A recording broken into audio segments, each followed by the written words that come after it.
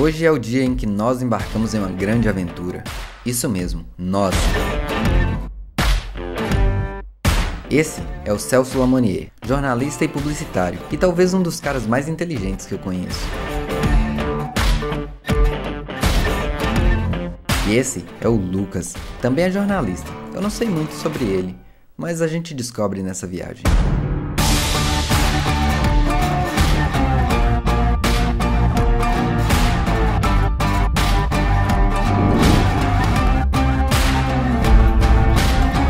E o nosso destino é Buenos Aires, na Argentina, e eu espero conseguir compartilhar com você pelo menos um pouquinho dessa aventura nos próximos vídeos.